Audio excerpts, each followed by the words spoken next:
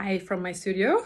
The fabric fairs for this season next year summer took place in Paris recently and I just got my hands on a sample of vegan leather made from pineapple that I want to show you while the sun is out so you can really see the texture. So this is the sample that I got. I'm hiding the name of the supplier and everything because I don't want to advertise for them until I know that I actually like the product.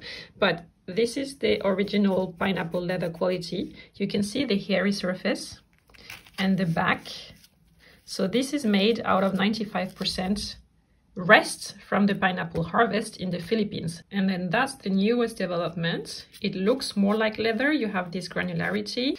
It's also mostly pineapple, but there instead of 5%, 36% are synthetic fiber. You can get pretty bright colors. So what do you think? Would you buy a handbag or a pair of shoes made in one of these two vegan leather materials?